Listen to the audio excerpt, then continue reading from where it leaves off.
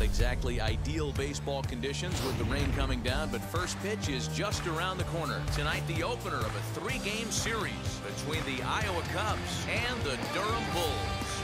It's baseball on the show, and it's coming up next.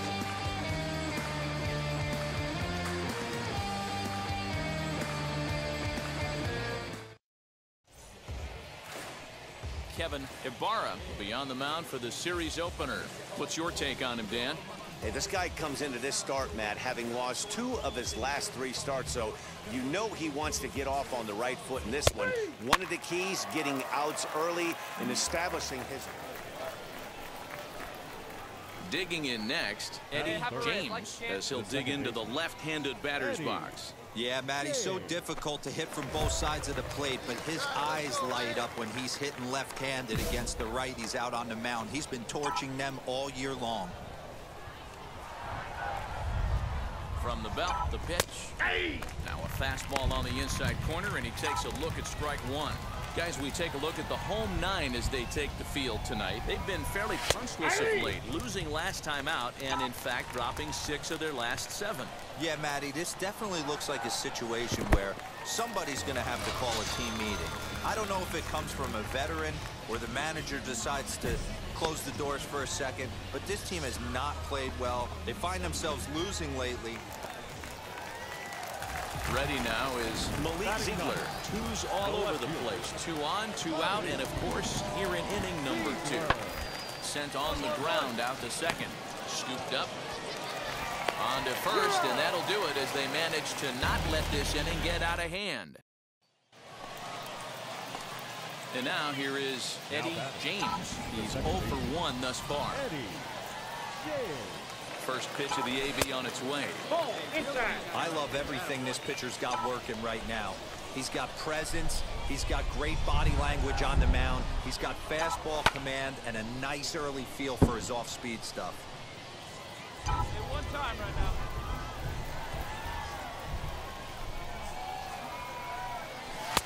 No offer on that one. Two balls and a strike. Man, he just missed the zone right there. One of the toughest pitches in the game, that backdoor cutter. As an offensive player, you give up on that pitch. As soon as it comes out of the hand, the next thing you know, it's trying to grab the corner.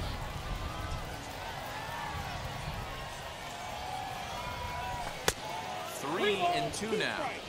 Got to execute a good pitch right here. Runner at first is probably going to be on the move, and you got one of the better hitters on their team up at the plate. Lifted down the line in left, but this will wind up being a foul ball. Another full count pitch home. Lifted the other way down the left field line. And he'll lay out to make a spectacular catch. Wow.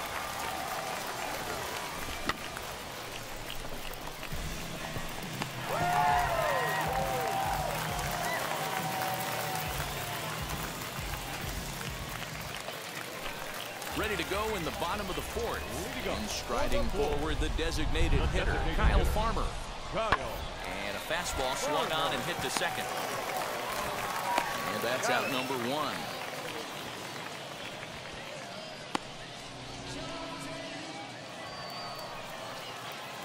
New inning set to get underway. And standing in as the switch hitting second baseman, Eddie James. Bouncer to the left side. Fielded cleanly. Throw to first gets him, so the leadoff man's retired here to begin the sixth. So the lineup flips over and digging in. Gabe Lieber. No hits in three tries so far. He struck out once. Hit out towards second. The tag gets one. On to first. And talk about doing the job out of the bullpen. One batter, two outs, and the inning is over. Dakota Mekkes has been summoned from the bullpen as he'll do so to start the eighth. Stepping in once again is Eddie James. 0 for 3 to this point. Yeah, not his game so far. He's such a good hitter. We all kind of expect him to pick up two or three hits most of the time. That's not really how baseball works, though. Well, you don't need us to tell you. It's really starting to come down out there. I can't imagine the umpires will let this go too much longer if it doesn't ease up. Yeah, Matt, right now, this doesn't look too good. I, I wouldn't be surprised if we don't see the umpires come out and bring the ground crew out here. The infield, One ball, around two the mound, down. and around the home plate area is really getting soaking wet. And I can't anticipate this going on very much longer. Filthy changeup that time, but he's able to make contact, and he'll get another chance. Now here it comes. Hit softly down the line at first. But this is a foul ball as the count holds steady at one and two. Come on, big dog. Pitch. Nobody better. Lifted down the line in left. Left fielder is on the move. He's there and records the first out. Bottom of inning number eight set to go, and that'll bring in the second baseman, Franklin Barreto.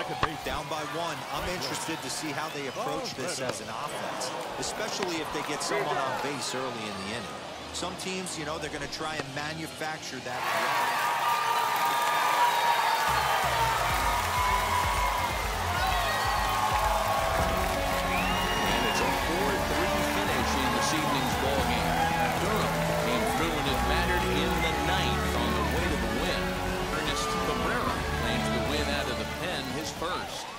That'll put a wrap on things here this evening. For my partners Dan Plesac and Mark DeRosa, I'm Matt Vasgersian. This has been a special presentation of MLB The Show.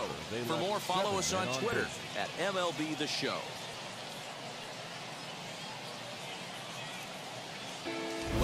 MLB The Show and this presentation of minor league baseball. Tonight, the second of three to start the week between the Iowa Cubs and the Durham Bulls. It's baseball, it's the show, and it comes your way next.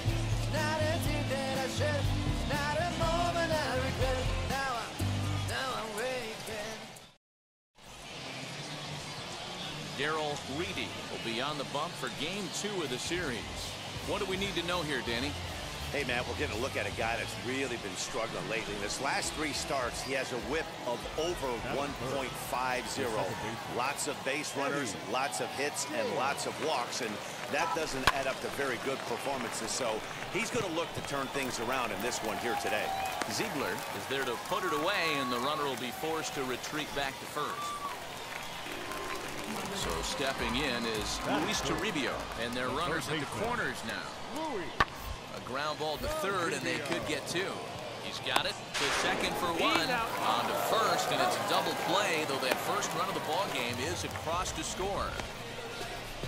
It certainly looked like they might have had a big inning cooking there with first and third and no outs, but the double play kind of kills it. They did get the run in, but the batter doesn't get credit for an RBI. Striding in is Christian Kelly, and he's a guy looking to break out in a big way.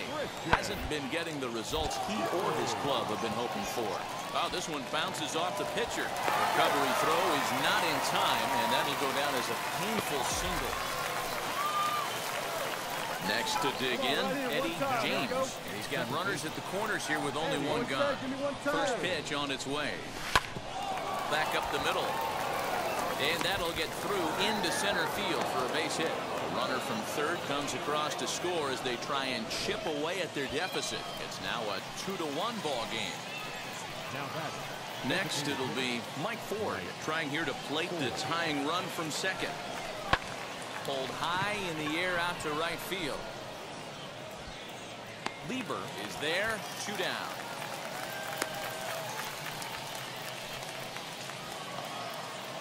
Now at the plate is Gavin Sheets. A base knock to the outfield could score the tying run from second. Three and one, here it is. And this misses for ball four. The second walk he surrendered here in the first three innings. Up next steps Christin Stewart, trying to bring in the tying run from third here. Three balls, no strikes. And that misses. Ball four. A run will come in to score. Yeah, the pitching coach would hate to go to the bullpen this early in the game, but sometimes you have no choice. On the flip side, he might just get in his face a little bit out there, try to challenge him, wake him up from his funk. Either way, we'll see how it works. Oh, and it misses ball four, and that will force home a run.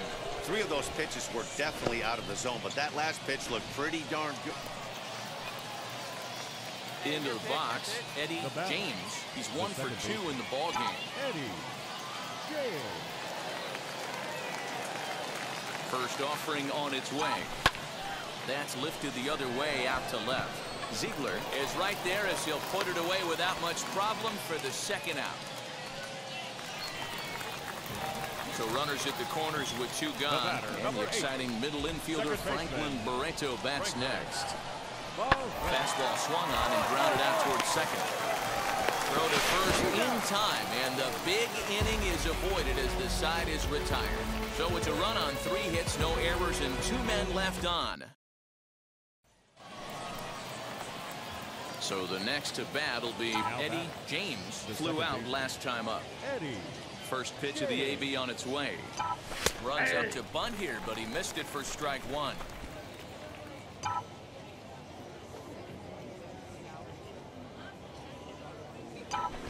Try to bunt his way on, but this is popped up. Whitlock is there, and he makes the catch for the out. So now to the plate, Eddie James. He's got one hit in four at-bats. Fly ball right down the line and left. Ziegler able to track it down for the third out. So next to hit is Alec Thomas. He comes into this appearance in the midst of a one for four day. Oh, it's on the ground to second. Did he get his double play? Scooped up to second for one. On to first, but not in time as he beats it out. Great job of hustle there by the base runner. This was a fun game to watch all the way around. There was lots of action, 12 total runs scored on the board, and a oh, pretty close finish to boot. First for the 7-5 tonight's Iowa final. The Cubs led this game from the third inning on and never wavered. left 15 men on base.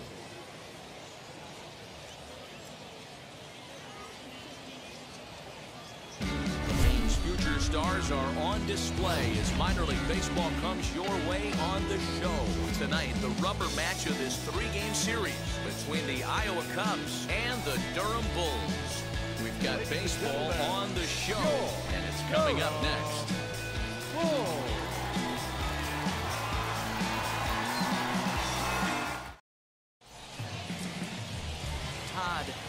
A left-hander from Massachusetts, will be doing the starting pitching here. What's your take on him, Dan?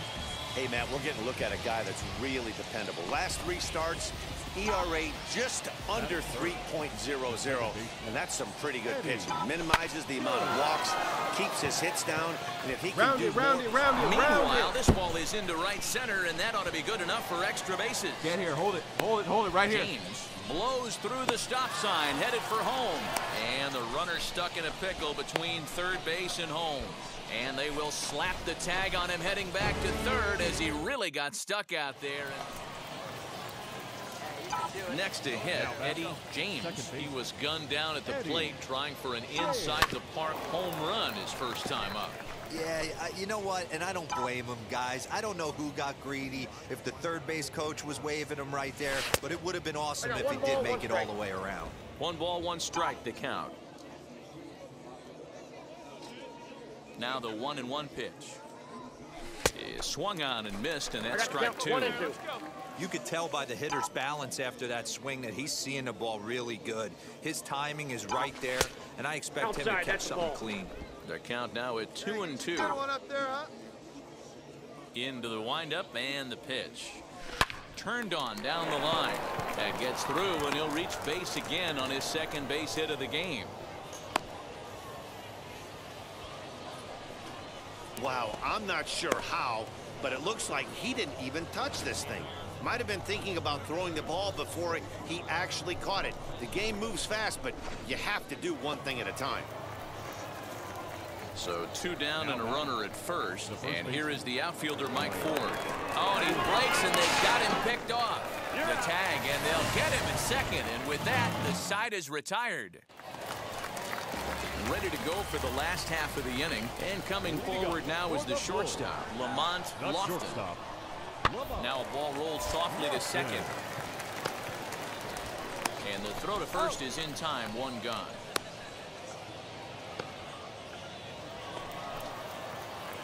Next up, Eddie James. He tripled earlier, making him one for two in the ball game. Hit the other way out toward right field.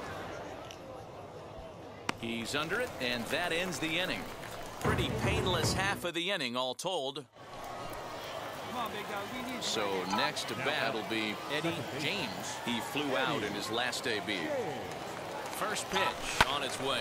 Skied in the air to straightaway left. Left fielder giving chase. He gets there, and that's the second out.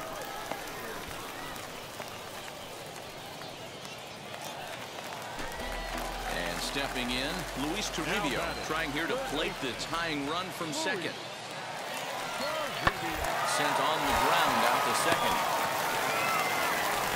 And the two-out threat won't pay off. The inning is over.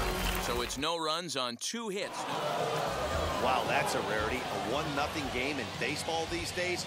Both of these pitchers pitched awfully well. It's a shame one of them had to lose this game. And that one run held up tonight, one nothing the final. The Iowa Cubs took the lead in the second inning and rode that until the very end. Robbie Siegel with his fourth win this season. Todd Knight to settle with a loss after giving up